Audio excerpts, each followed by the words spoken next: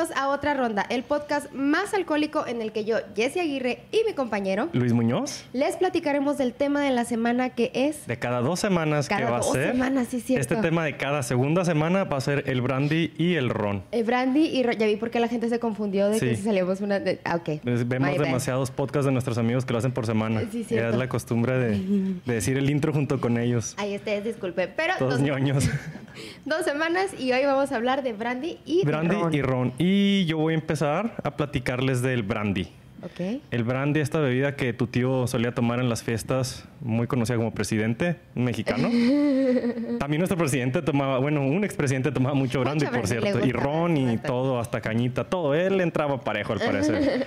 Eh, pero antes de comenzar a platicarles del brandy, quiero, quiero complementar un tema que dimos hace unas cuantas semanas sobre el whisky. Yo les platiqué que el ¿En qué la primer registro, pues no la cagué, Sí, pero me faltó... Ah, lo que Es me que dijiste el otro día. Sí, Sí, es sí, que investigué nada más en libros, todo, pues quise ser muy correcto y no me metía hasta en Google. Ajá. Y ahora que buscaba el brandy, encontré información un poquito más actualizada sobre el inicio del whisky. Ok.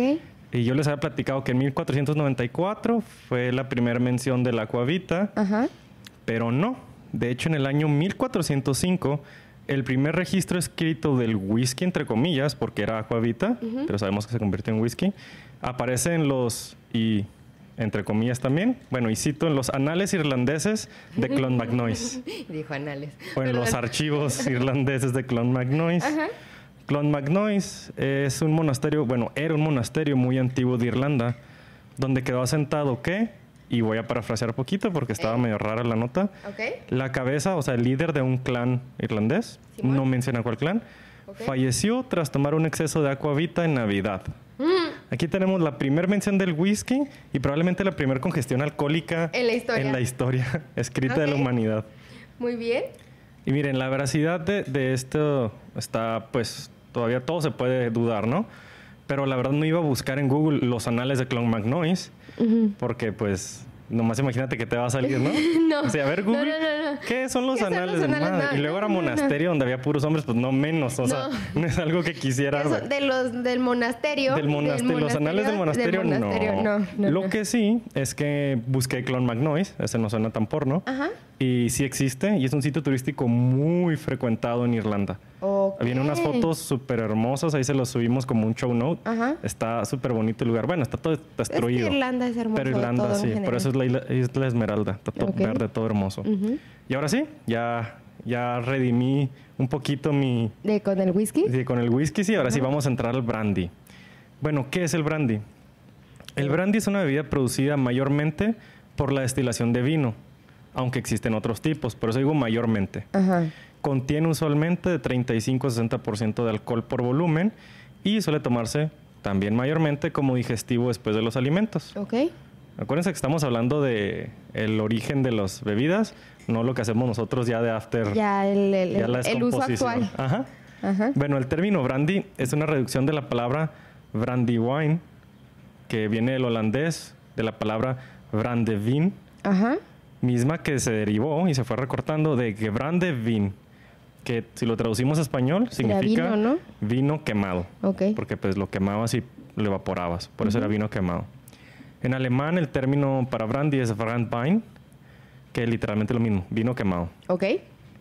En un sentido más amplio, el brandy también incluye destilados del orujo de la uva. ¿Qué es el orujo? ajá. Para aquellos que nos escuchan y no saben, el orujo son todos los sólidos restantes después de que prensas la uva y la separas del jugo que se va a convertir en vino. El orujo es básicamente el desperdicio, entre comillas, de la vinificación. De la vinificación, sí. Lo que ya le separaste el jugo, ese es el orujo. O de fermentados de frutas, la más común siendo la manzana, Ok. pero entonces se le conoce como brandy de fruta. Ah, Se ok. le tiene que poner, este Se es tiene que poner específicamente que es brandy de fruta Así porque es. ya involucró. Sí, al brandy de orujo se le conoce como eau de vie o al brandy en general. Ey. Eau de vie, que en francés significa agua de vida. Ah, En latín- al final todo se conecta. Ajá, en Ajá. latín era aqua vita, Ajá. el whisky, en francés pues es eau de vie, de- el brandy. El brandy. Sí. Ok. También tienen otros nombres, eh, por ejemplo, en todos los países de inglés, de habla inglesa o francesa, se le conoce como Mark, así como Mark Anthony. Ay, yo, Mark, Mark, Mark. ajá, por compa- sabroso. mi compa el Mark. Por sabroso, yo creo. Ajá. Feo, pero sabroso. Pero Ah, en Italia se le conoce como grappa. Uf, si baila, ¿Baila? Anthony, no manches. En Italia se le conoce como grappa. A ver, no sí de es- la que sí están, la había escuchado. No de la que están pensando dos, tres. Ah, ok, de la grapa mexicana. No de la ¿no? grapa esa de, de plastiquito. Ah. No, esa grapa no. Con no, doble. P. Ok, sí. En España se le conoce como orujo. Orujo. O tal vez usted lo, lo hayan escuchado como pisco. Ah, claro. El pisco, es un brandy de. Ajá, en El Perú, efectivamente. El, pisco, de hecho, fíjate, hubiera, también hubiera podido haber hecho pisco sours. Bueno, no, Pisco no hubiera podido porque no tenemos pisco. Pero, No. eh, ajá. Y con la pandemia está difícil conseguir todo. Ya sé. Y encontré uno que jamás en mi vida había escuchado. En Bolivia se le conoce como Singani. Singani. Singani. Como cuando te levantas un lunes en la mañana bien crudo, así Sin Singani. Ajá. Así se le conoce en Bolivia. Ok. Ah, estos que se acaba de mencionar, el Mark, la grapa, el orujo, el pisco y el Singani, Ajá. suelen ser brandies que no se añejan. Se toman blancos, así derechito. Como viene. Sí. Ah, cuando se empezó a destilar el brandy, se cree que alrededor de 1313 fue la primera destilación ya en forma. Ok. Eh, pero se utilizaba como eau de vie, como agua, Agua de, de vida, porque se consideraba poseedor de cualidades fortalecedoras y poderes sanitizantes. Tanto así que de ahí lleva el nombre de eau de vie, que de hecho todavía se le conoce así. Ok. Mucha gente todavía le dice eau de vie. Ujú. Mientras que la destilación fue muy común en la Edad Media, no se empezó a utilizar hasta el siglo XV para producir bebidas alcohólicas para diversión. Ah. Básicamente, O sea, que fue cuando el brandy y el whisky se fueron al cielo. Sí, sí. antes de todo eso, todo es- este tipo de cosas se usaba para fines medicinales. Ajá. No era tanto para party, no. Era medicinales. Si recuerdan, dijimos en los primeros episodios que en 1494 ya un monasterio, ya un monasterio ya establecido, Ey, pidió un fraile que le hiciera uh, aquavita, whisky. whisky. Y estos pelados también. También el brandy empezó en el siglo XV a despegar su producción. Ey. Bueno, aquí viene un dato que me gustó mucho. A inicios del siglo XVI, el brandy francés ayudó a instaurar el triángulo intercambio transatlántico. El, cambio, el, el triángulo de intercambio transatlántico, el cual consistía en llevar azúcar, tabaco, pieles y algodón del continente americano a Europa. Ajá, Euro- ok. O sea, iban de aquí para Europa con todo eso, sobre todo con tabaco y azúcar. Ajá. Y luego de Europa bajaban con brandy, telas y productos manufacturados, porque pues allá estaban ¿Era un como un poquito más- intercambio? Ujú, Ok. Como el trueque. Entonces, de América llevaban básicamente el azúcar, tabaco y las pieles. De Europa llevaban a África telas, brandy y productos ya de manufactura, porque pues en Europa ya hacía mucho que había fábricas. Sí, sí, sí. Y luego de África a América iban esclavos. Ah, sí, eso era. ¿Se este, acuerdan en de ese eso? entonces estaba bien padre porque, bueno, no, no estaba bien padre, pero Pues los depende de ellos quién de- fueras. eh, depende de quién fueras. en qué ajá. parte estuvieras trabajando. Pero ellos eran como que, ay, esclavos por aquí, esclavos por Sí. allá, tengo un esclavo aquí, deme un esclavo de allá. y lo más cabrón es que los esclavos se los llevan de África a América para ponerlos a jalar en los campos de tabaco, en los campos de banana, de en los caña, campos de, azúcar. caña. Entonces Ajá. sí, y, y se, se vuelve todo, se vuelve literal como una ruta o un comercio independiente. O sea, aparte de todo, o sea, sí te importó ron, sí te importó licores y telas y esto, pero aparte, por los esclavos recibían otra tajada de dinero que Sí. era también importación de gente literal. La onda del esclavismo era muchísimo el dinero. O Y era muy bien muchísimo. pagada. Y aparte, pues como no había tantas cosas en aquel entonces, todo tenía un valor muy alto. Sí. Y los esclavos, pues más. Por fortuna ya se volvió eso. Ahora nada más trabajamos en la maquila. bueno, el brandy suplantó, o sea, quitó la chingada al vino fortificado portugués, al Oporto, a los Madeira, como, el, como el eje de ese comercio. Simón. O sea, antes del brandy era eran esos vinos los que eran todo el pedo. Porque tiene mayor porcentaje de alcohol, se transporta más fácil y no se echa a perder. Ajá. Aunque los Oporto y los Madeira, sí, neta, si se te echa a perder una botella es que los descuidaste mucho. De plano se te fue la mano con el descuido. Pero pues un brandy de 40-45% difícilmente se te desmadra, ¿no? Ajá. Ah, por costumbre, algunos brandys son añejados en barricas de madera.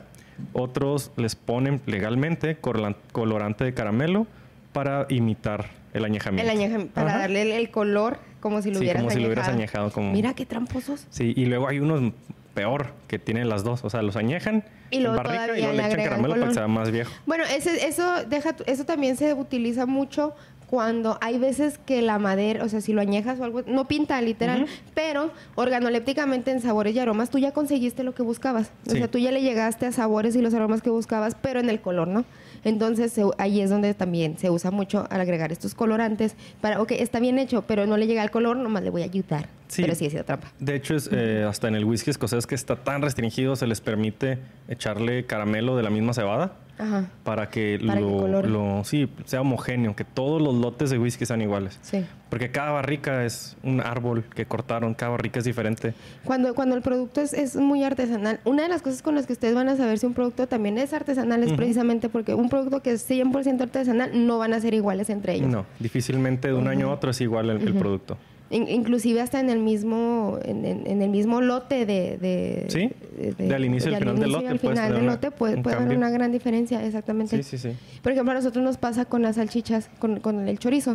Nosotros cuando lo hacemos nosotros no cortamos no lo hacemos dividido. Nosotros tenemos la tripa completa que es una tripa, la tripa de dos metros y la vamos torciendo. Ok. entonces vienen torcidos entonces no quedan todos del mismo tamaño la tripa nunca sale tampoco del No, mismo y hay más tamaño. compresión en un pedacito Hay que más en otro. en un- ajá, Ajá. entonces y los eh, porcentajes de, de grasita contra carnita van cambiando poquito. entre- Exactamente, varían. Sigue estando buenísimo, pero para mí es más difícil que, por ejemplo, vaya a etiquetar y decir, estas salchichas son 500 gramos con esto, con esto, con Sí. esto, porque no lo puedo controlar. Sí, sí, y yo creo que este es gran parte del chiste de tomar cosas artesanales bien hechas, que difícilmente vas a tomar lo mismo dos veces. Y es lo bonito. Es lo bonito. Sí, sí, porque vas único. descubriendo cada vez. Ahora, continúas. Bueno, ah, muchísimos tipos de brandy se pueden encontrar donde se produce vino, porque pues es vino destilado, básicamente. Ajá. El brandy es vino destilado mayormente, siendo algunos de los más famosos y los mejor protegidos, o propiamente dicho, los únicos bien protegidos, el coñac y el armagnac del suroeste de Francia. Ah, claro. Sí, el, el armagnac es, no es muy conocido porque sí es muy artesanal Se- y casi no sale de Europa, Te iba a decir, pero pues nosotros lo escuchamos seguido, pero pues no. porque sí, estamos sí. en esto, sí, porque tomamos Yo- todos los días, sí. De hecho, yo nunca he probado armagnac. No, ni yo, pero No he soy muy fan del coñac, el- pero nunca, nunca he tomado armagnac. Me gusta más el pisco todavía que el brandy. A mí me han dicho que el armagnac es más rico que el coñac, solo ¿En que serio? tiene, pues es un poquito más abierta su producción. Y aquí, de hecho, aquí voy a decir las diferencias. Ah, excepto por algunos productores masivos, muy mayores, el método de consumo y producción tiende a ser muy regional, Ok, muy característico del lugarcito donde se está haciendo. Por lo tanto, la producción pues es muy variada. Y es lo que decía ahorita, nada más el coñac y el armagnac están regulados así, pero estrictamente. Que tiene mucho. Bien machín. Ahorita les Sí. voy a decir las reglas. De hecho, sí, sí, sí, sí, tienes razón. También pasa mucho con el ron. No tienen como que reglas muy específicas No. y por eso hacen lo que quieran con él. Y hay rones de todos sabores, todos colores. Eh, bueno, el brandy tradicionalmente se destila a partir de un vino llamado vino base. Ok. ¿Sí? Eh, el coñac se destila en alambique de olla. La mayoría de los brandis también. Pues ya los baratones ya es en columna. Ah, es muy diferente de un vino de mesa, el vino base. Este se hace con uvas que se vendimian, o sea, se recogen, se cosechan muy temprano en su maduración para que tengan una acidez muy elevada y que tengan muy poquita azúcar. Ok, curiosamente. Ok, ok, ok. Sí. Ajá. El vino base se debe destilar dos ocasiones para hacer brandy. En la primera, y voy a entrar a la destilación otra vez porque quiero que todos aprendan conmigo lo que es destilación y no les cuenten mentiras. Que nadie les venga con que está destilado una vez pero está bien. Mm, No. Depende. Depende qué destilación Mínimo dos destilaciones. Eh, Tengan eso siempre. Si es de columna puede ser una, pero porque es doble. Ajá, pero O sea, sigue siendo dulce. que le das dos Doble. chingas, doble. ¿Qué onda? Bueno, si las dos pasas por una columna, son básicamente cuatro chingas destiladas, pues ya sale súper clarito. En la primera destilación, gran parte del agua y los sólidos del vino se separan. Ey. Porque metes el vino, lo hierves, el agua sal, se queda Ajá. junto con los sólidos y sacas mayor, bueno, gran parte del vino. Eh, este obtienes un vino con una concentración del 28 al 32%. Ok. Ok, esa es la primera. En la segunda, bueno, y este de 28 a 30 se llama vino bajo.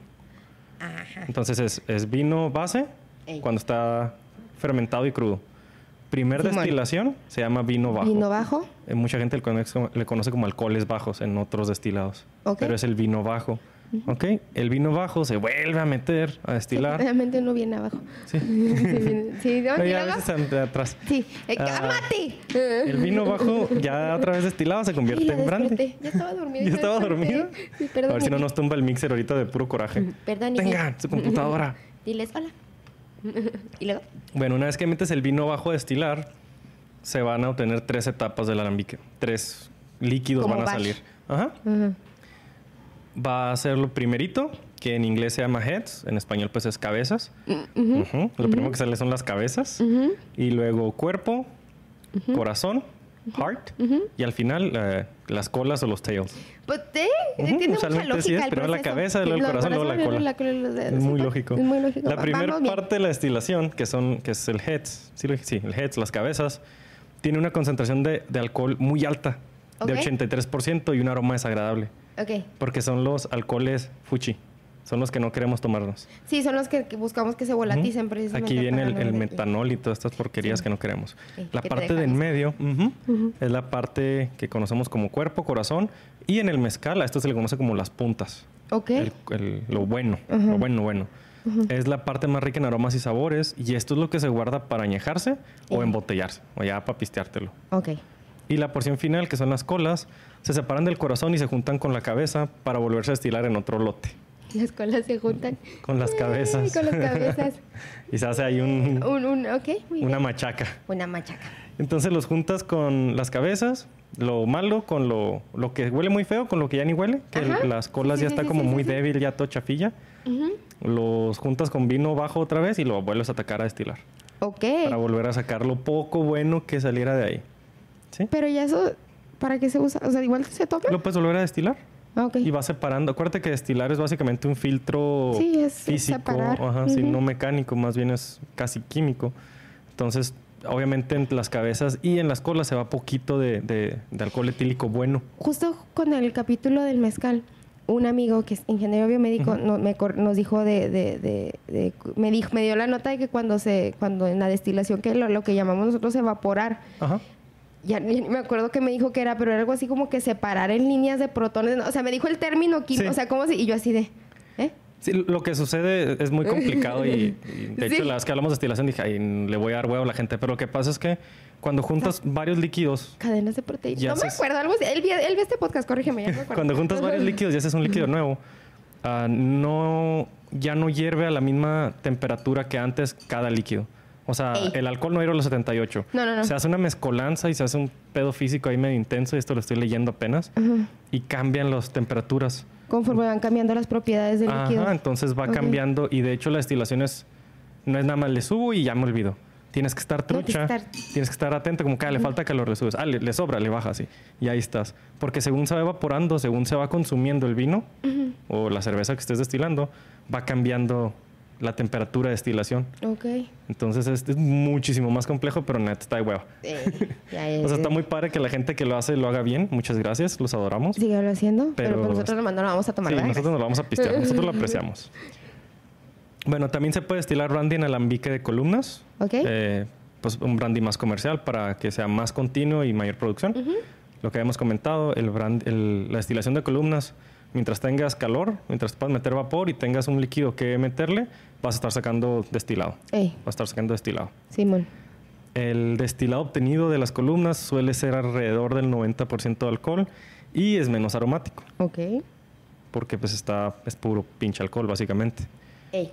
Ah, también el tipo de alambique utilizado depende de la calidad del brandy y el estilo a producir. Sí, y aquí vamos a ver dos grandes diferencias. Voy a entrar a lo que es el coñac. Ajá. Sí, voy a explicar el coñac y el Y armañac. luego, ah, ok. Sí, ya sí, los sí. demás pues son la conociendo bendición poco de Dios y, y ahí los van probando y ustedes van viendo. En realidad estos dos son los que más, más interés tuve en, en compartir Ajá. porque son los únicos que sabes que se tiene que hacer así. Ok. El Échale. coñac viene de la comuna de Cognac en Francia. Ey. Se produce de uvas cultivadas únicamente en los departamentos de Charente y Charente-Maritime. La producción del coñac, que es pues, obviamente ahí alrededor de la comuna de Cognac. La producción del coñac está protegida bajo la asignación de apelación de origine controlé. Es el Eh. AOC, que es la misma que controla todas las, las denominaciones de origen francesas de los vinos. Son súper estrictos estos Son cabrones. bien mamones. Súper mamones. Las, bueno, de hecho ellos controlan los métodos de producción y hasta el nombre. O sea, no le puedes poner un nombre nomás porque Nomás se te porque hincha. a ti se te hinchó. No, ellos te dicen, se va a llamar así. Ah. Que de hecho la DO de mezcal y la, y la DO de tequila también te dicen, se va a llamar así, así, así, según lo que sea. Ah, ok. Pero allá tienen mucho tiempo haciendo esto. Es Las más uvas, específico. sí, es muy específico. Las uvas que más se usan son la Ugni Blanc, que se le conoce también como Saint Emilion, no semillón, Saint Emilion, Emilion. ajá, Ujú. o más conocida como la Treviano en Italia. De hecho, la Ok. Treviano yo sí la conozco y pues son la misma, las tres es la misma. Ujú. También se permite la Folle Blanche y la uva Colombard. Son las tres más usadas. Se usan, se usan otro otros siete tipos de uva, pero son para coñac ya un poquito más corrientones. Eh, ok. Ya de menor clase, de menor costo, Ok. por decir así. Sí, sí, sí. Después de que las uvas se prensan para hacer el vino, se debe dejar fermentar de dos a tres semanas. No se permite agregar ni levadura, ni azúcar, ni sulfitos. Obviamente estas uvas son uvas blancas, ¿verdad? Sí, son blancas. Son, todas, sí, sí, son todas blancas son blancas. Todas son sí, blancas me quedé y por, muy por- el reposo, dije. Y el color. Porque entonces el coñac no es, no es color vino. Pero No. ok. Ajá. No, no, no. Y aparte, como está destilado, pierde todo el color. Así en la destilación De pierde hecho, color. en Sí. Italia se hacen algunas grapas de, de, de Barolo, se llaman, y son de uva tinta. Pero cuando lo estilas, Ah, pues se se pierde, el color. Sí. Después de que uva se prensa, se deja dos a tres semanas fermentar, no se le echa nada, se deja ahí con la bendición de Dios y obtienes un vino de 7-8% de alcohol, un vino base. Ok. Se debe destilar en alambique tradicional de cobre tipo Charenté. Ujú. Es un, es, dice, los vas a subir la show notes. Es un específicamente que su dimensión, su diseño, Está todo, todo, de está súper a... regulado. Ajá. Todo está súper, súper regulado. Ok. Debe llevarse doble destilación Ujú. y el de vie que, salga de la doble destilación no debe pasar de 70% de alcohol. No, tata. No debe ¿Para qué pasar. quieres más? Pues, pues total, lo vas a añejar. Entonces ahí Sí, va a bajar. ahí va. Sí, sí, sí. Sí, por lo menos debe añejarse dos años, le puse aquí. Espero yo que me haya equivocado y no dijera esto en la ley porque guácala. yo creo que eran dos años en barricas de roble Ya sé por francés. qué no me gusta el coñac. Huele como curioso. Como que siempre se me hizo así medio, medio agrio. Guácala. Así como cuando vas al- a correr todo el día. Ah, ya fermentado. Bueno, ah, en barrica también hasta la chingada barrica está regulada aquí. Dos años por lo menos. Es que neta son, No, ya me fui ya bien extremo. son- sí. Yo dije, la Ah. barriga también. La barrica también te la fermentas. No.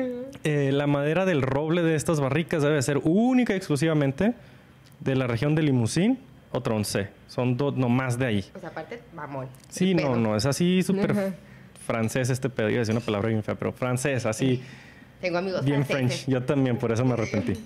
Bueno, las marcas más conocidas a nivel mundial, creo que esto les va a sonar, es Courvoisier, Genesis, Martel y Remy Martin. Ok. ¿Sí? Creo que son las que hemos probado y conocido he todos. escuchado más. Sí, sí, sí. Ahora entremos a, al Armagnac. Ok. Es un tipo específico de brandy, no es un coñac, es un tipo específico de brandy que se produce en Armagnac, en Gascuña, al sur oeste de, de Francia. Sí, sí, sí. Se destila a partir de las uvas Baco Blanc, esta es una mezcla de dos uvas, Colombard, Folle Blanche y Ugni Blanc. Eh, Ok. Aquí la Ugni es la como tercera cuarta en, en- en frecuencia, este, con otras seis, otras seis que no se usan tanto. Ey. El Armagnac usa tradicionalmente destiladores de columna en vez de, de alambique normal, como el coñac. Se destila una sola vez, bueno, o sea, se destila un solo paso por la columna, obteniendo un, un líquido como alrededor de 52 a 55% de alcohol, Ok. lo cual resulta en una espirituosa pues más fragante y con más sabores que el coñac, que es a 70. Oh, ajá. ¿Sí? Ajá. Que, ¿Y por qué es a 70? Porque es destilado dos veces. Trae sus características como que más pronunciadas. Sí, a, a pesar de que es en columna, aquí está destilado de cierta manera que le dejan todavía que salga poquito del original, del, de- del vino, Ah, ok. de la fermentación. No, no pierde tanto. Que en realidad la, la idea de tener los destiladores de columna es, es producir un chingo y producir mucho muy limpio. Ah, La idea es tener mucho alcohol y muy limpio. y muy limpio. Entonces ellos le hacen aquí tweaks, le mueven ahí jales chicanos para que no sea tan alto el nivel que todavía conserve un poquito de su carácter. ok. ¿Sí? Sí. El brandy tiene un sistema de añejamiento tradicional. Se tiene que añejar de menos a más. Aunque fuera el coñac y el armañac, pues en realidad nadie te va a decir que no le puedes poner un nombre u otro. Ok. ujú. La indicación de envejecimiento se encuentra siempre al frente de la botella. Lo que nos están viendo, de hecho, pueden ver que aquí tengo, por ejemplo, tenemos Este es un ron. ron, pero también tiene tres estrellas. Y esto es lo que más... Está, qué pendejo, están acá arriba. Tres estrellas. Esto... La cabeza de esta está dormida. ¿Está dormida ahí? Sí. Es que no la veo con la computadora. Bueno, ahí está. el sistema es Very Special o tres estrellas. Sí. Es un brandy en el cual el brandy más joven tiene por lo menos dos años en barrica. Ok. Sí, los brandies y, todos los destilados, ajá, la gente cree que se saca de la barrica y se mete directo a la botella. Para poder tener un poquito de homogeneidad entre años, lo que se hace es que se agarran muchas barricas y luego se juntan todas entre ellas, se vacía todo el líquido, Ok. se hace una gran albercota de brandy, de whisky, de, de ron y luego ya de ahí se sirve. Para que todos los brandies de ese año tengan el mismo sabor. Ajá. Y si hay que corregir, pues corriges toda la Toda albercota. la, la, la albercota. Así es. Ajá. Entonces, por eso aquí especifica, el brandy más joven tiene por lo menos dos años. Ok. Puedes tener puros de dos años o puedes tener uno de 50 con uno de dos y va a ser de dos años porque este marca el que menos sea. Ujú. Ok. Tenemos el BSOP, que es Very Superior Old Pale, Reserva o cinco estrellas, donde ha sido por lo menos cuatro años en barrica. Tenemos el XO, o también llamado Napoleón.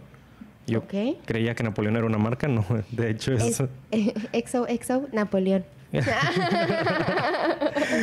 Este es por lo menos seis años en barrica. Y luego para el coñac tienes el XO, el- no, tienes el XXO, Oh. que es el extra, extra old. ¿Hay otro más allá? Porque... Sí, hay uno más para más pa allá, pero está medio chafa el nombre. El extra, extra old son por lo menos 14 años. Ya este es un pinche brandy bien caro. Sí, un sí, sí, coñac ya bien caro. O brandy, no le hace que sea brandy. Para tener algo 14 años cuidándolo, no chingue, Sí, ya, ya. imagínate Ya la bendición. algo a- Volteas a ver tu bendición y dices, "¿Cu- ¿por cuánto te vendería? Sí, entre más ya tiene más vale. 13. ya hasta, bueno, hasta cierta edad ya después Eh, empieza a ya se empieza a devaluar. muy- Y luego tenemos el último, que es para el coñac, que se llama el Hors d'Age o pasado de edad. Se tenía que llamar XXX. El, el triple X. Triple X, el, el OXO con El 3X o al final. Este es el que me, para el coñac es más añejo, por lo menos de 14 años, Ajá. y para Armagnac por lo menos de 10 años. Ok. Se usa este nombre para una impresión de un gran producto con, con añejamiento que excede el, el mínimo exigido por ley. Ujú. O sea, si tú quieres tirar rollo y verte bien fresa, pues haces un, haces un Hors d'Age. Es muy pasado de...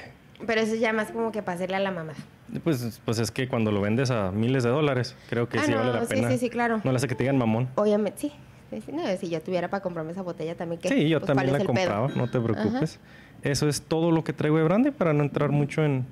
Digo, para no entrar mucho más. Ah, sí, se puede. Si, si nos vamos, podemos irnos de ahí Sí. bien, bien cabrón. Sí, sí, sí. Sí, sí, sí, no, Pasamos al ron. Pasamos a el ron, que es justamente, ahorita estamos tomando un- un- bueno, yo estoy tomando porque Luis estaba hablando y no estaba tomando. un cóctel que es Pero ya me básicamente... toca tomar. Ya te toca tomar, que ya se te derritió el hielo. Que básicamente es un mojito, pero en vez de ponerle hierba buena le puse albahaca. Esa es la única diferencia. Albacajito, ¿cómo que se? Albacajito. No se llama así, pero pues yo así le digo. Albacajito. Pero fue el nombre que se me ocurrió. Fue el nombre que se me olvidó. Sí, o sea, nada más la única diferencia del mojito es en vez de traer este... Eh, ¿Hierbabuena? hierbabuena, le pongo albahaca. Me Mm. gusta más con albahaca. Está bueno, está muy, Sí, muy bueno. Sí, está muy bueno. Y pues obviamente está hecho con bacacho bacardi. Buenos días, mi Bacardi, amor. porque vamos a hablar de ron y teníamos que Eh, claro. hablar de Bacardi. No podíamos este, no hablar No, de nos, Bacardi. nos iban a... La verdad nos iban a ejecu- ejecutar. Ya. Ejecuté, Pero bueno, vamos a hablar del ron. El ron siempre ha sido una bebida de sabor y de rebelión. Desde los piratas en el siglo XVII hasta la Revolución Americana, este licor tropical se te recuerda a la playa, a la brisa del océano, cócteles, largas noches de fiesta. Es con lo que, desarro- lo que Sí. relacionas. el- Acapulco Paps. Ecopulco Paps. Es por eso que no es sorpresa que el ron esté ligado al mar. Mientras que su produ- producción inició a partir de cañas de azúcar cientos de años atrás, actualmente su mayor producción se da en el Caribe y en Latinoamérica. O sea, es más de... Sí, sí, sí. Es más bailador. Sí. Pero nos vamos hasta el, el surgimiento de- del el principio. Las primeras plantaciones de caña de azúcar tuvieron lugar en la Nueva Guinea y su primera fermentación, o sea, la fermentación de la caña de azúcar, de azúcar, perdón, surgió en la India cerca, cerca del año 350 antes de Cristo. Ok. O sea, ya la fermentación de la caña de azúcar. En ese entonces estos, estos fermentados eran primordialmente usados para fines medicinales, es lo que les decía. Como Todavía, agua de vida, exactamente. Todavía no era, eh, nos vamos a poner hasta, no, no, era para cuidar a la, a la gente. Ahora, si nos adelantamos hasta los 1400, cuando los exploradores empiezan a abrir rutas de comercio dentro de, durante sus exploraciones, perdón, se empiezan a descubrir islas remotas con el clima y humedad perfectos para crecer caña de azúcar. Es como que aquí puedo. Por eso es que el Caribe se vuelve tan famoso. La caña, la caña de azúcar necesita un clima, aparte de caluroso, muy húmedo para poderse este, cultivar. Y obviamente la caña de azúcar en ese entonces era un producto altamente evaluado en la, en la ruta de comercio, pero era también caro porque implicaba mucho trabajo manual. ¿Manuel o Manuel? Manuel. Pobre Manuel. Meni, lo traían en Por el chinga el güey. Pobre Meni. Puro manpower. Sí, y agua también significaba Sí. mucha agua. Por eso, el que hayan encontrado estas islas donde se podía hacer al fue pedo, ah, huevo, huevo, aquí hay agua. Sí, por eso cuando comentamos del charanda, el charanda es tan especial dentro de los rones, porque la, la caña de azúcar de Michoacán es todo el pedo. Sí, Está súper chingona porque tiene mucho calor y muchos minerales el piso. exactamente. Bueno, el suelo. Le da les da características súper, súper especiales, ¿sí? Las, obviamente las estas islas tenían naturalmente ac- acceso a agua, Sí, claro. acceso a agua, pero mano de obra no tanto. Así que en tiempos, era tiempo, en ese tiempo era momento de traer a esclavos. Chingado. Claro que sí. Ay, humanos. Los exploradores comenzaron a incrementar la producción de caña de azúcar en las islas de Azores, ese no, Ajá. no lo ubico, las Islas Canarias. He visto fotos muy bonitas de las Islas Azores. ¿Sí? Sí. Ok. Las Islas Canarias, es así, hay, hay mucha gente que tiene su De dinero ahí. Son las de los silvestres, ¿no? Ajá. Ajá. y eventualmente todo el Caribe no va a caer ante tus provocaciones. Por supuesto, para poder lograr esto se necesitaban aún más esclavos. A huevo. Ah, bueno. Hombre, pero había un chingo. ¿Eh? No, sí, pero o sea, empezaron a traer bien cabrón más. O sea, los, los es- bueno, en, el- en el, en, en el texto que leí, como estaba en inglés, decía slavers, pero me imagino Los que son como los, los padrotes, Los los, Los culeros estos. que, tra- ajá, que- Este, que trataban con gente. que trataban con gente, aceptaban todo tipo de pago para suplir a los europeos de esclavos. La forma más popular era el alcohol, precisamente. Y aunque la cerveza y el vino ya eran realizados para ese entonces con facilidad en varias partes del mundo, su resistencia a la transportación no era buena, era lo que comentabas, no aguantaban los viajes, por lo que no aguantaban viajes tan largos en océano y no eran lo suficientemente fuertes, o sea, no los Ajá. ponían lo suficientemente pendejos, literal. Así que primeramente el brandy fue uno de los licores en suplir esta necesidad, es. o sea, de que empiezan así como de que, ok, el vino y la cerveza la tenemos que mover en cantidades más pequeñas aparte Sí. porque se hace malo más rápido y no aguanta. Entonces el brandy entra ahí a... Sí, de hecho, a- originalmente el brandy se destilaba para rebajarse, pero les valía madre y se lo toman derecho. O sea, la idea era destilarlo para rebajarlo, llegar a tu casa y luego echarle agua. No, hombre. Justamente- Así, güey, véngase. Justamente la razón por qué lo hicieron es porque era menor, menor el volumen del producto que tenían que transportar y era mayor el porcentaje de su pendeja. Pero ya probándolo, nah, ni madre. O sea, Así derecho, sí, véngase, güey. exactamente.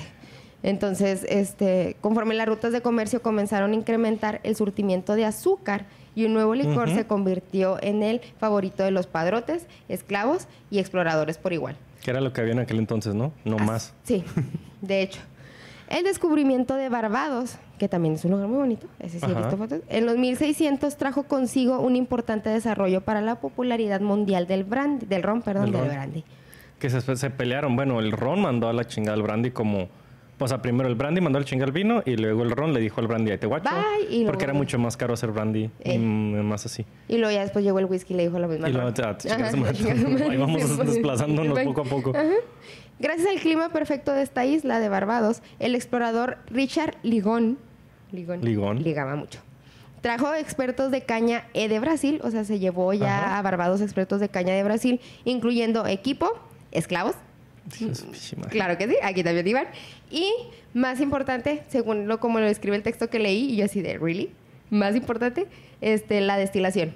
O Ah, sea, me- refiero a poner, obviamente la destilación es importante, pero pues pones destilación primero y esclavos al final y no dices que la destilación es más importante que los esclavos. es- eran otros tiempos. Sí, muy- pero bueno. Diría Lolo. Eran otros Eran tiempos. otros tiempos, sí. En menos de 10 años, los varones del ron, porque ya se les llamaban varones del ron en Barbados, a, la gente, a los productores, la gente que producía este, este licor, se le llamaban los varones del ron. creo que iban el barbón del whisky. No, no. Va a ser tu ¿No? nuevo apodo. Sí, el barbón del si whisky. pega. Igual. Chance y pega al varón del whisky. Díganle todos así. Barbón, el barbón. El varón. Porque varón no, ya no. no, no, no, barbón. Barbón, perdón. Sí, cierto. Nomás no te vas a poder quitar la barba ya. No, no, no hay pedo. Ok. Barbado, eh, perdón. Me, me adelanté mucho. ¿Dónde estamos? ¿Dónde Los estamos? varones En del- los varones. del ron. Ah, del, del ron. Se convirtieron en las personas más ricas del mundo. Sí, güeyes, huevo. ajá. entre los esclavos y el ron. Con una próspera industria de azúcar, ron y esclavos. Chingado. Porque todavía, luego aparte el negocio de los esclavos se independizó y tenían como que mi negocio, mi tiendita de esclavos. Y lo aparte, pues de ahí agarró para que trabajen. como en el- ajá. locales en el Soria. O sea, no. Híjole, ya se nos murieron tres, joven. Ah, déjame y me surto. O sea, sí, estaba viendo gente esta parte. Fíjate, yo cuando, cuando escribí lo del brandy y pues eso de los esclavos dije, está, está medio hardcore, pero lo voy a poner y luego ahorita estoy chingado. Sí, no. La historia es muy fea. Es muy fea, Sí. pero hay que estar abiertos a la realidad. Pero bueno, el rumor dice que este licor era inicialmente conocido como Kill Devil. Sí, es a huevo. Por sus fuertes, efect- sus fuertes efectos con un sabor un poquito más gacho del deseado. O sea, tampoco no les sabía así precisamente como que muy Pues es que tenían muy poquito destilando, la neta no, Ajá. no había gente como tu amigo que ya sabe lo que, lo que es la destilación, correctamente sí, y las es- etapas y todo. Aparte que también en los paladares en ese entonces pues no estaban tampoco tan Pues sí. exigentes. Sí, no. Sí, sí, no. Ahora los niños ya nacen casi, ¿Qué? casi con de re- no, eh. Con una botella de bacacho así. Ah, No. entonces es para recién nacido. No, me refiero a lo de es que los... tenemos una botellita de 300 mililitros. Me refiero a lo de los gustos, porque Ah, ahora te topas mucho con niños que nada les gusta, a los niños ya. Nada comen, nada les gusta, todo les sabe feo, todo les que, güey. Pues a mí tampoco me gustaba hasta que me agarraron chingazos. de- Bueno, ok, alcoholismo, perdón. Si no lo hagan. Si no le peguen a sus hijos, no, Luego después de todo no está Y luego hacer un bien. podcast hablando de pisto. Ajá. Sí. Los pobres lo bebían este derecho, mientras que en las clases más altas empieza a surgir la coctelería. El tiempo pasó y hay indicaciones que nos dice que este destilado se le comenzó a llamar rombulón, rombullón, rombullón o Rombullón. rombustión. rombustión. Estas palabras hacen referencia a un efecto agresivo en las personas. O sea, cuando dices estas palabras. prendía hace- bien cabrón, ¿no? Sí, rombustion y rom- rombullion eran, es, es- es- este, de, de hecho, ya después rombullion, hasta la actualidad puedes encontrar botellas catalogadas como rombullion, O sea, que están re ojetes. mm, probablemente. Eventualmente, con el paso de los años, esto se, se acortó a lo que conocemos hoy como ron. Ujú. A mediados de los 1600 había alrededor de 3.000 3.000 colonizadores viviendo en Nueva Inglaterra. Cuando llegaron tenían toda la intención de traer vides, granos, frutos para preparar sus bebidas, pero con lo que no contaban es que el clima de ¿Con su Nueva? Inglaterra, aparte, el clima de Nueva Inglaterra no es para nada parecido al del Mediterráneo. Está bien ojete. Allá donde está, por Boston. Simón, Boston, Salem, este, todo todos, aquello. todos- todos Sí, lo- lados. y, luego or- y luego, oh, y luego, oh, y luego ahorcan. Ah, ahorcan, chingado, no puede decirlo tres veces. Y luego ahorcan a las mujeres por nada. Sí, no. Entonces, pues obviamente no funcionó. No, no. No, no, no funcionó. Les arruina totalmente la intención y por si no fuera poco, coincidió que Inglaterra, o sea, en, ese entonces estaba pasando por una baja producción de cerveza, por lo que los colonos tampoco estaban recibiendo las mismas cantidades de cerveza importada para satisfacer sus necesidades. Esto literalmente... Sus necesidades, me Necesidades. me encanta porque para ellos el alcohol era una necesidad. Sí, a huevo. Que pues bueno, para nosotros también a veces. Sí, sí, sí. Hay que ser sinceros. Pero esto llevó al caos. O sea, Ajá. había gente peleándose. Un desmadre literal, un por una cheve. Por literal. Ay, Porque no camán. había algo. Cuando había ley seca aquí por la pandemia, ¿te das de cuenta? Bueno, sí, sí, sí. No estamos muy lejos. No de- estamos tan lejos. No estamos muy lejos de los 1700. Algo les Y debería luego por de decir. cervezas light. Y luego Ah. por cervezas. Pues ya sé. Por Tecate Light. Ay, perdón. no quise decir cuál, pero bueno. Mm, ay, Bye, perdón. Tecate, gracias por el patrocinio. No. Sorry. Pero la roja que ¿qué onda? Ah, sí, sí, hay sí. como. Yo sí me agarro no. chingazos por una tec- Si es la última de una fiesta, sí, sí, me agarro sí, chingazos. Claro que sí. Entonces, empezaron, eh, ya empieza el caos y empezaron a querer fermentar y sacar licores de absolutamente todo lo que cultivaban. Sí, sí, O sea, todo claro. lo que veían lo querían fermentar. Para poder- Fermentado de mijo. Ahí fue donde salió el mijo. ¡A huevo! A ver, ese mocoso huele muy feo. Échalo, Hmm. échalo al olla, Igual ya tengo 42. Echa- Uno menos ni, ni yo me voy a acordar. Echa el mijo a fermentar. Echó el mijo a fermentar a la olla. sí, no. Entonces, unas cosas funcionaban, otras obviamente no. Y realmente nada este, los, los terminó de satisfacer hasta que llegó el Holy Mary de Barbados y las Islas del Caribe, el ron. El ron. Se introdujo el ron a las colonias y ya fue así como que ¡yay! Sí, me imagino. Es que andar crudo y no tener nada que pistear está cabrón. Miren, el ron era por mucho más barato que el poco brandy que en ese entonces se podía importar. Y la melaza resultó ser un ingrediente también mucho más barato, lo que hacía al, al ron una bebida más barata y más fuerte en efectos. Claro que por supuesto que yes, esto hace que el ron se vuelva la bebida este, elección de Nueva Inglaterra, exactamente. Para pronto los colonos empezaron, en vez de importar el producto completo, solo importaban o se traían de la, melaza, la caña de la azúcar. Melaza, ok. Ajá. Y, empiezan, y empezaron ellos a destilar por sí solos. Claro. Ya a hacer ellos su propio ron. Y fue así como para los 1700, a mediados de los 1700, perdón, en ciudades como Salem, Salem, Newport, Boston y Medford se convirtieron en el epicentro de la destilería de ron. Para, pues, a mediados de este siglo ya contaban con cerca de 100 destilerías ah, en funcionamiento. A mediados del siglo 1700 ya había en esa zona alrededor de 100 destilerías. Ni cuenta de ese pedo. Sí. Dada la importancia del ron para esta nueva economía, no es de sorprender que los ingleses, los que estaban allá en, en Inglaterra, a huevo, no les gustó. Por lo que empezaron entonces a... No les gusta nunca nada. Nunca les gusta nada. Parece que no, no. Solamente el té. Porque empezaron a agregar un impuesto a la exportación, no de ron, de la melaza. De la melaza. O sea, no te voy a poner un impuesto en el producto terminado. bueno, yo me imagino que también traía, pero le pusieron un impuesto, un impuesto a los ingredientes. A la materia prima. A la materia prima. Cuando en 1781 los británicos se rinden y América, América busca con desesperación la estabilidad económica, el ron sigue siendo la bebida elección, aunque la importación de la melaza se rompió bastante durante la guerra, se llevó mucho ahí. Pero entonces empezaron a llegar migrantes de Irlanda y de Escocia, asentándose en amplias tierras con recursos que no habían utilizado aún. Estos migrantes no tenían experiencia con la fermentación de la melaza, pero sí con la fermentación y posterior destilación de granos. Yay. Y adivinen qué crece bastante bien en el centro de América. Los pinches granos. Los pinches granos. cereales son, sí, se dan bien cabrón acá. Exactamente. Por lo que el whisky y diferentes destilados a partir de granos ganaron más popularidad, popularidad y el papel del ron y su importancia comenzó a disminuir. O sea, hace lo mismo que le pasó al brandy. O sea, bueno, el brandy mandó a la madre el vino y la cerveza, y luego llegó el ron y mandó a la madre al, brandy, y luego llegó el whisky y mandó a la madre al ron. ¿Y, esto se repite, esto estamos hablando de los 1600, de 1500 a 1700. Esto se repite en el último siglo otra vez. Otra vez. De 1800 al, al, 2000 volvió a darse este ciclo de un desmadre de las bebidas. Y, y en este siglo específicamente, bueno, de los 50 para acá, bueno, no, sí, del, de 1900 para acá, solo se dio el ciclo una vez completo. O sea, dio vuelta una vez completa. De tanto es el consumo que tenemos hoy en día que ya los ciclos no son de, siglos. Es de, una década te chingaste. Una década sube el vodka y luego la otra década sube el ron y la otra década sube el whisky. Y ahorita yo creo que ya estamos hasta por año. sí, o sea, ya, es por época. Es tanto, eh, exactamente, es por época. Por ejemplo, a mí en, invierno yo le bajo mucho al consumo de cerveza y le subo más al del vino y al de licores más ah, aguardientes, más calientes. Dios te oiga. o sea, licores, ¡ey!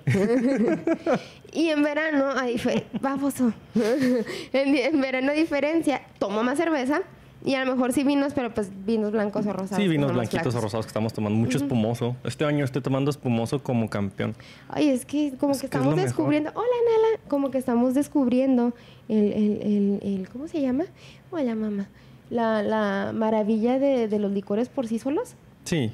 Y, bueno, ya tengo un rato que ya los descubrí. O sea, bueno, los destilados. Nosotros nos dedicamos a esto, sabemos, pero o sea, hay, o sea, la gente, hay gente que ya, ya veo más gente que ya está entrando a las cosas por sí solo, tequila por sí solo, que les gusta más el whisky, que empiezan, yo lo veo mucho en mis alumnos, que se empiezan más a interesar por cada uno de los tipos de licores, por lo que pueden hacer con ellos. Sí, claro. Entonces está bien, tan solo el simple hecho de decirles, oiga, necesitamos esta botella para la siguiente clase. Y, ah, yo tengo en mi casa. Bueno, me queda la mitad, pero no le hace, la eh, traigo. yo, yo, la patrocino. Yo la patrocino. Y, y, se da también, yo creo que mucho este cambio de cultura que es muy positiva por lo que yo veo hacia el vino, por ejemplo, mexicano, porque ya está viendo vinos de muy buena calidad. Tiene, sí tiene un par de décadas que hay vino en México bueno, pero era poco y era mm, difícil de, de conseguir. Sí. Ahorita tienes ya, las regiones están especializando y eso sería otro tema de otro día, pero Yo creo que ahorita ya, es, sí, este va a otro día, pero yo creo que ahorita ya está, está sobrepasando la demanda de la producción que tenemos aquí en México. de hecho está en México creo que se toma más vino ya, hoy en día, más vino nacional que en Que porcentaje importado. que importado. Sí, Sí, claro. eso, eso es muy bueno. Claro, bueno, a mí, la verdad, a mí hay vinos no internacionales que me fascinan. O sea, yo Claro. Italia es mi corazón, mi vida y mi alma. Y luego España y luego México. Yo empecé a tomar con vinos argentinos, fueron mis primeros pininos en, en- con vinos, entonces sí, sí, sí, claro que sí Pero se está dando un cambio de cultura muy bueno que hay que ser parte de ello. Sí, de hecho. ¿Y qué te parece? Pero- ¿Ya terminaste el horno? Voy a decir los tipos de ron nada más, Ah, me sí, queda. los tipos. Este, porque, pues, oye, como Mira, que no más ahí, ron. te- ahí tenemos dos. Mira, tenemos aquí bacacho, que básicamente este entra en la primera categoría, el- bacacho, que aquí dice de hecho white rum o ron White blanco. rum. Este es el primer tipo de ron. Este es el menos complejo. Sus perfiles de sabores y aromas son sutiles y frescos. Ahora, dato curioso. La gente tiende a pensar que por ser un licor blanco no tiene añejamiento. El bacacho no tiene, pero... Pero, ajá. Ajá. Pero este ron, o sea, el, que este ron, no este ron, o sea, el ron puede ser la excepción a esta regla, por lo que nos está diciendo este Luis ahorita. Aunque sí algunos rones blancos son embotellados directamente, hay otros que sí pasan por añejamiento en barricas por un periodo corto de tiempo, Sí. mínimo de un año, pueden ser hasta cuatro. Este, después de esto se filtran, o sea, o, de- o- se destilan, Ok. se filtran con, eh, encontré que los que los filtran con este el charcoal, no Carbón cómo- activo. carbón activado. Carbón activado. Ajá. Con- los filtran con eso para quitarle la coloración que pudo haber tomado el añejamiento. Ajá. Entonces ya son eh, rones añejados, pero con el color blanco. Ah, la madre. ¿Sabes que eso es lo que le hacen a los tequilas cristalinos, los super premium de ahorita? Ándale. Al Don Julio 70, El 1800 al Maestro Cristal, está al 1800 buenísimo. Cristal. Ajá. eh, ajá, son los únicos que me acuerdo. Pero ese es el proceso que le hacen. Un tequila reposado añejo, lo pasan por carbón activado y le arrancan todo el color y, una parte de lo que la barrica le aportó. Ajá. Exacto. Sí, sí le quita, sí le quita, Sí, pero es que sí. de todas maneras sí notas la diferencia de los sabores de uno que no pasó, que fue directo a botella, a que pasó por añejamiento. Me, me va, me va a ejecutar un amigo mío, Memo, qué? porque se me olvidó el cava de oro. Tienen un pinche cristalino increíble. Pégale. Me estaba te pensando así, ah, pero sí está bien Te chido. lo voy a dejar allá afuera amarrado para que Está nomás bien llegues y lo chido. No, pases. yo voy solo a su casa. nomás que se acuerda. Ahora. Ok, yo no sabía que el ron hacía eso desde, an- desde antes, decían en el pueblo, de, de filtrarlo con carbón activado. Órale. Desde- sí, para quitarle el color y que Órale. sea un ron blanco añejado. Sí. ¿Eh? Más dulce. Más dulce. usualmente. Sí, exactamente. Ahora sigue el ron oro o el gold rum. Este, estos son añejados en barricas de roble, pero sin filtrar, de manera que el color este, prevalezca. Está todo el color. ajá. Como no hay medidas, es de lo que iba, les decíamos ahorita, como no hay medidas estrictas de añejamiento para el ron oro, estos tienen en efecto mayor, mayor añejamiento que el ron blanco, por lo que sus sabores se vuelven más complejos.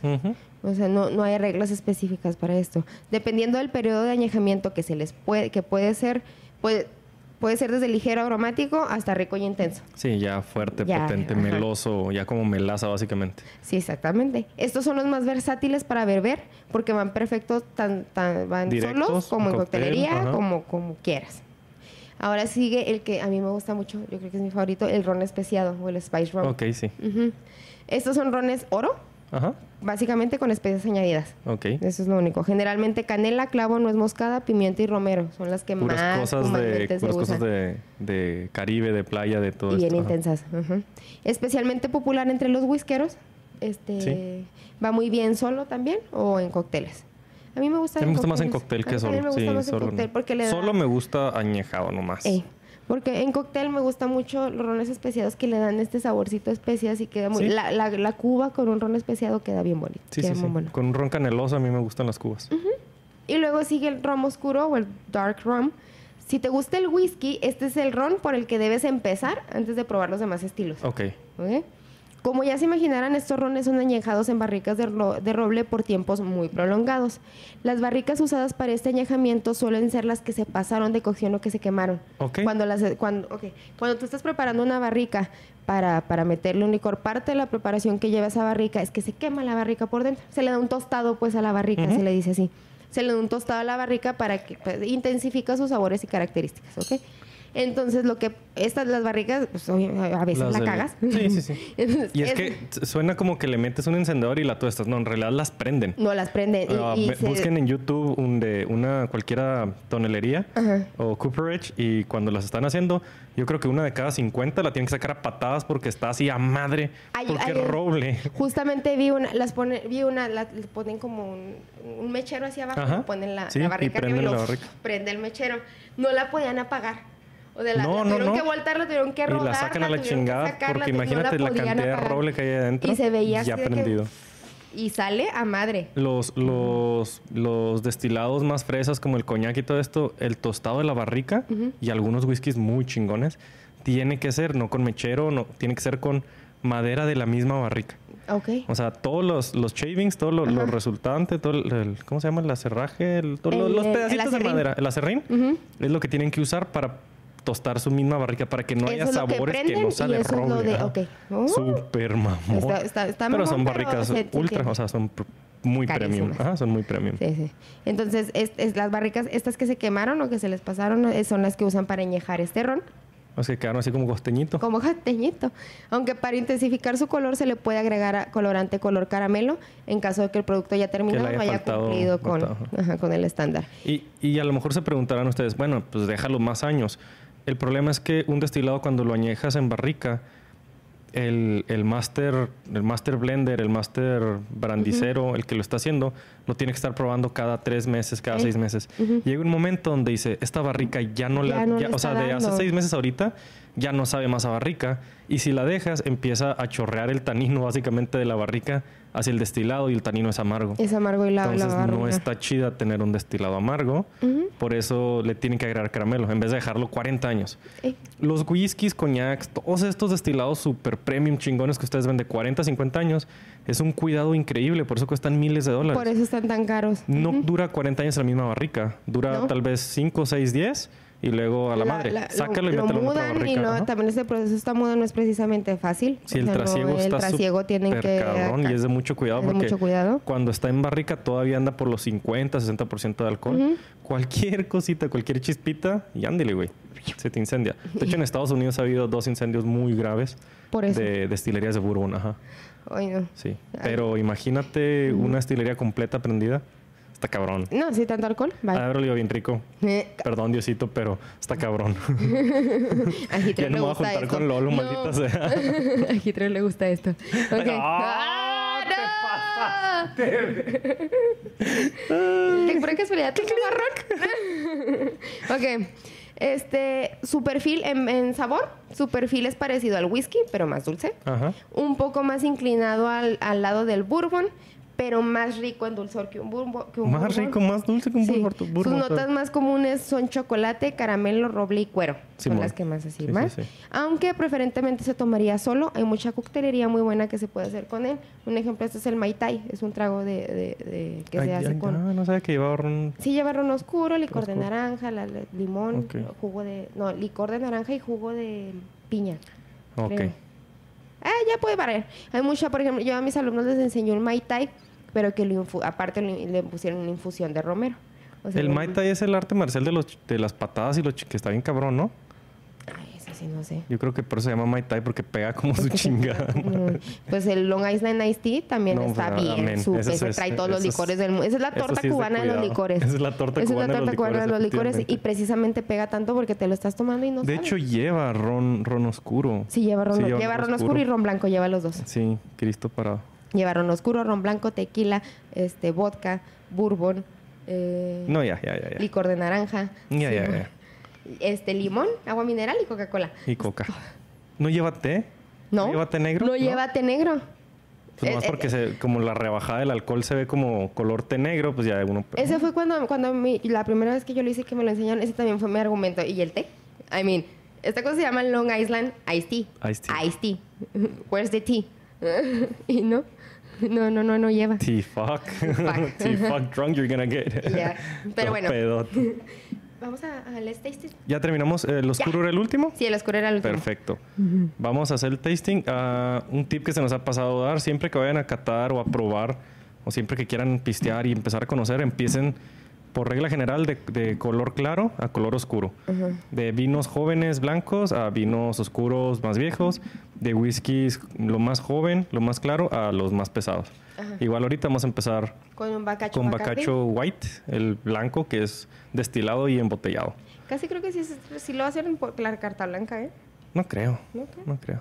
A ver, vamos a ver. Te- tenemos a un. Bacardí, para quien no nos esté viendo Voy a en servir YouTube. así poquito. Tenemos un Bacardí Un blanco Bacardí. que Jessy me dijo, no lo vamos a catar. Y dije, sí, cámara, no se ya raje. te lo puse a los mojitos. No se raje, ya nos tomamos media botella. Ya nos tomamos mojitos. mosqui- de- mira, de hecho, mira, aquí está. La, este Bacardí, establecido en Cuba en 1862. Sembrado en 1862 en la primera destilería de Bacardí en Cuba. El coco sobrevivió. El coco es, es, Es una este, palmera. una palmera, ajá. Sobrevivió guerras, terremotos y el incendio de la destilería. Actualmente plantamos una palmera entre cada una de nuestras destilerías recordando nuestras raíces. Simón, una palmera resistió todo y la destilería se lo va a chingada. Ajá. Pero bueno, así pasa a veces, cuando sucede. Dice Bacardí Carta Blanca ha sido creado y balanceado por maestros de ron Bacardí, suaves notas a vainilla, producto, producto de su maderación en barricas de robles y trae barrica. ¿Así trae barrica? Hacen a Bacardí Carta Blanca el ron perfecto para ser Ah, la madre, y trae barrica. Trae barrica. Con razón huele tan dulce. Se me Perdónanos. Bacardí por todo lo que Sí. te hemos echado. Madres, me- mi norteño está sintiéndose avergonzado en este momento. Ey, me Yo que le si echaba trajera tanto- sombrero me lo quitaba y lo ponía Sí, en la mesa. Así, a la chingada. Chingada madre. Yo que tanto le echaba al Bacardí. Pero bueno, ¿a qué te huele? Pues bueno, tiene una nota de vainilla muy marcada. Súper intensa, de Súper hecho. intensa. ¿Sabes a qué me recordó poquito? Cuando te al, al, que- al caramelo arriba, el quemadito del creme brûlée, a lo que Simón. huele. Sí, sí, A sí. creme- huele a creme brûlée. Está carameloso. Al caramelo del creme brûlée. Ajá. Huele, no, en realidad no huele tan alcoholoso, ¿eh? Sí trae una nota acética, pero muy ligerita. A- acética sí. ¿No es Pero alcoholosa no, no. Acético ese es um, uno de los volátiles, es el de las uñas. Acetona. Acetona. A Ajá. mí no me vive engañada también. ¿eh? Sí trae, sí trae nota de alcohol, pero de hecho no es molesto. De hecho, No. puedo casi meter la nariz. No, de hecho puedo meter la nariz No pasa completa. como, por y sí está muy marcado el, el poquito de la acetona, pero Muy no, leve. no es feo. No pasa como lo que pasó en el capítulo pasado con Lolo, de que teníamos que oler De con cuidado porque afuera, si le metíamos la, la, La nariz. la nariz, se nos De hecho, desintegraba. de hecho, en el ya salió el de... Sí, ya salió el de Tania para ahorita. Ah, sí, ya, de ya. hecho, el de Tania tenía como tres dedos fuera de la nariz y me dio el chingazote así de... Del- eh, es que también estaba más sí, intenso. de 48%. A ver, en, en boca, coméntanos. Yo les platico que de vista es un líquido completamente Mira, me hizo limpio, probarlo a mí. translúcido, con unos reflejos plata muy bonitos. En verdad estoy sorprendido por el Bacardi. De- La siguiente vez me voy a quedar callado. Este, tiene Oye, no sabe plata. nada mal solo, ¿eh? ¿No? Cuéntame, a ver, ahora Ok. lo pruebo yo. Tiene, tiene un perfil alcoholoso, obviamente, pero trae una nota, lo siento más en los costados de la lengua, es donde siento como el picor, que es normal. Va ahí. Tiene unas notas a vainilladas y a caramelo bien, bien, bien, bien, bien. Básicamente, la vainilla es lo que... A mí me sabe a caña. ¿A caña? Me sabe a caña, sí. Muy intenso a caña. No, no, pero sí me da como cuando, porque yo de niño comía mucha caña con mi papá y cu- cuando aprendí a pelar la caña, cuando aprendí, o sea, que hubo un periodo que no sabía, Ajá. masticaba el, el bagazo completo, bueno, todos mastican el bagazo, pero la fibra exterior de la caña, Yo, también no me... sí, no, pero la fibra exterior, la verde, Ah, ok. a esto me da un poquito, me trae ese recuerdo de la infancia. Ok, ok, O ok. tomé Bacardi de niño, no estoy seguro. I'm not Mira, sure. Cari. I'm not sure. No me sorprendería. no, ni a mí. Tiene un, un sabor dulcecito, no es completamente dulce, sí sabe alcohol. Sí, sí te tomas un chocito Ujú. que es como que hijo de su fish madre. Sí, yo no me lo tomaría este tanto solo. Me gusta en coctelería. Tiene un amargorcito. Tiene un amargor. Un amargor. A mí la verdad el Bacardi no se me hace malo. Yo, yo en coctelería sí lo pido mucho. Este, no es, no, no, es, pues es que la, la neta el bacacho tiene muy mala fama aquí. A mí ya no se me hace malo. Y me disculpo públicamente con todos mis amigos por haberles dicho que era una porquería. Hoy No día puedo decir, no está tan malo. ¿Y no cómo sabes si un, malo. si un destilado es bueno o, o malo o regular? Tómatelo directo, así como lo estamos tomando. Exactamente. Porque, porque en... La neta yo no había tomado Bacardi solo. No, Siempre por eso, te- había por sido eso me lo traje que- a huevo, así dere- derechito. Siempre Está- con algo sí, más. sí me está durmiendo los labios un poquito, sí está alcoholoso. Pero está mucho mejor de lo que yo esperaba. Está mucho mejor de lo que yo esperaba. Yo pensaba que nos iba a sacar de onda que me iba así como que hasta ¿A torcer. dar asco? No, la verdad es de, de hecho ahorita lo olí antes porque usualmente lo que hacemos es que limpiamos las copas con el mismo, Con el mismo destilado licor, que vamos a probar. Es así condiciones la copa, lo que vas a tomar también. Este, lo olí y dije, ah, güey, no huele tan mal. Pero no lo probé, no lo probé, pero sí, mis respetos, no, no tengo nada malo que decir. Sí está Sí, un poquito eso. amargosito y si no tomas destilados frecuentemente, no te recomiendo que lo pruebes directo. Si Eh, quieres sí. aprender a tomar destilados, ah, yo iniciaría con otros. Este está un poquito... Y tiene, un, tiene un aftertaste muy largo, todavía me sabe la boca. Sí, sí, sí, sí, esta tiene bastante permanencia.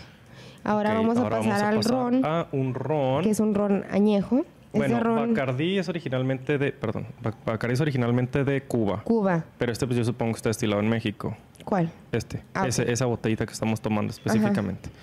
Ahora tenemos un ron, aquí tiene usted señorita, un ron de Puerto Rico. Un ron de Puerto Rico. En un viaje que fui y me lo traje, se llama ron del barrilito. Es un ron tres estrellas. Ujú. Está, trae 43% de alcohol y les voy a platicar un poco que es de 1800, 1880, me salió todo el Chihuahua mando poder. Eh, establecida la hacienda Santa Ana por el ingeniero Pedro F. Fernández en Bayamón, Puerto Rico. Ahí se ha destilado por más de 100 años y se utilizan barricas de roble francés, Ujú. que obviamente bastante quemaditas. Y este ron en específico, aunque es tres estrellas, trae rones de por lo menos 6 a 10 años de añejamiento. En la mezcla que decías que Ujú. hacen. Ok. Sí. Básicamente es un ron de 6 años, pero puede traer hasta 10 años. Y ellos te recomiendan que te lo tomes derechito, con poquita agua, con hielito, pero no en coctelería. Y ahorita que lo pruebas, a ver por qué. Esta, esta, chingón este este sí me da la nota a, a- a acetona, o sea, al, al, al salón, a cuando me voy a poner uñas, pues. Ajá, sí, sí, sí. Sí, este sí está más marcada la nota acetona. Sí, la sí, sí, la acetona neta así sí. bien intenso. Eso exactamente que se nota más aquí, eso es la acetona. Ajá. Que sí, no, porque que ya no me, es acordé de- desagradable, ¿eh? No, no, O sea, en no, no, no, huele nada para nada mal. Es, No, es- no, no. es producto del destilado. Es parte de, porque aparte ah, de fondo trae, espérame. Sí, a este sí pega un poquito más en la nariz. Este, no hagan lo la nariz de putazo. Sí, no hagan lo que. Jessy hizo. Les platico yo en lo ¿Qué que Jessy se recupera. Tiene un color ámbar, ámbar medio, de hecho. Este, bueno, no tengo la mesa correcta. Es un, un ámbar ligero y tiene destellos, me lloró el ojo. destellos, destellos oro muy bonitos adentro. Los reflejos, muy bonito. Tiene un color muy, muy apropiado para que se te antoje. La verdad, sí lo ves y dices, sí. ¿Ok? Ok. En boca. En boca, déjame lo. Yo les puedo decir que es completamente límpido porque pues está filtrado por seguridad porque este lo compré en un aeropuerto. Wow. Nada que ver. Ok, en boca se sigue sintiendo la acetona, pero muy leve, la- en la punta de la lengua. Te queda así como va a ser, literal, siento como si fuera como un solo piquete de, ajá. De ayer más todo el resto es, es- es ahumado, está, bueno, se siente como ahumado, se siente caramelo, se siente, ¿sabes? los dulcecitos, los totis, Ajá. los dulcecitos de caramelo, Sí, el, sí, del, sí. el, del, el del osito. Los Mm. to- ¿Eran los totis? No, No, los totis, estoy confundiendo. peras con manzanas. Los totis son los cafés. No, yo digo el, el del osito, el que es el blanco con azul. ¿Cómo se llama? No me eso? acuerdo. No me acuerdo. Pero sí ti- tiene, tiene, yo creo lo que quieres decir es que tiene una nota a caramelo tostado. Ey. Caramelo ahumado tote. Bien intenso. Como cuando se te pasa el creme brûlée y dejas la orita quemada. Ey. Ajá. Sí, sí, sí. Que pues obviamente pues es azúcar en, en barrica tostada. Pues se trae todo. Se me hace que, no, no se te hace que tiene poquito chocolate. Bueno, se me hace que tiene chocolate, así está chocolatoso. Como que esa, esa sensación, ah, Mm. cuando estás comiendo chocolate. Yo creo que esa sensación es porque usualmente nosotros comemos chocolate oscuro Ajá. y comparte mucho con esto de lo quemado, del así de tan oscuro, barrica, tan sí. profundo. Porque está, y en, en, en cuanto a densidad, está untuoso. Sí, está Sí, sí, muy está, está untuoso. muy untuoso, se siente así, te, te, te envuelve la lengua. También mucha vainilla. Me está dando mucha... Toffee. Toffee. ¿Cómo se llama el toffee? Es que es una nota del, del whisky que... Me van a decir que qué mamón, pero nunca hago, nunca hago reseñas en español de whisky. No pero es toffee. Pues es acuerdo. caramelo, ¿no? Es como una especie de caramelo. Sí, el tof- Está toffee un es poco caramelo. cafezoso también. Tiene un poquito de nota Unas café. notas a café, muy leve, y especias. Y estoy salivando como loco. Está Súper intensamente. Me gustó bastante. De hecho, sí, sí, sí, sí me gustó. Sí, es muy buen ron. oye. Este yo me lo tomo así, derecho, o con un hielo. Un hielito nada más. Ajá. Ya con un hielito, la bronca es que se, cuando se deshace el hielo, se disuelve mucho los sabores y te queda más lo dulce y alcoholoso. Ah, ok. Entonces ya no está como tan Ya rico. pierdes estos este ahumadito, este Sí, sabor quedas el ahumado. chocolatoso. Ya se pierde todo lo oscuro, así lo profundo. Cacao, Caca- Ajá, cacao. Cacao. recién tostado. Simón. Más que chocolate, yo creo que Más que cacao recién chocolate, tostado. cacao. Sí. Está Sí. muy sabroso. Salud. Oye, me gustó un chorro, salud. pues Gracias bueno, por traerlo. muchísimas gracias por escucharnos en Oye, esta segunda que- semana. Ya sé, antes de que... Segunda, tercera, hijo. Mm, mm. No, espérate. O sea, segunda desde el último episodio. Ah, ok. Ah, ¿verdad? Ay, me confundo mucho con eso.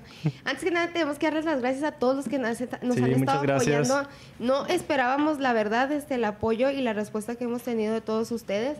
Este, En verdad, muchísimas gracias a todos. Este, esto es pa- este proyecto es para ustedes. Exactamente, eh, no, no lo hacemos por ganar algo, o por, no, o sea, es algo que nos gusta a nosotros pistear y sobre todo aprender.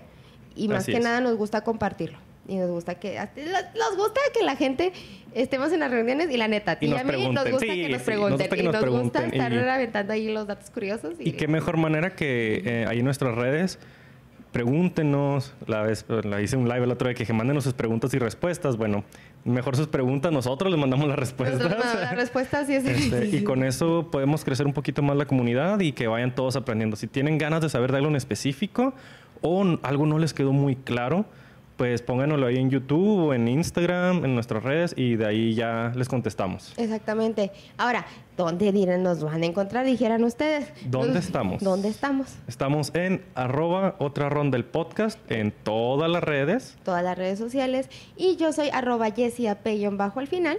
Yo soy arroba someluis con doble M.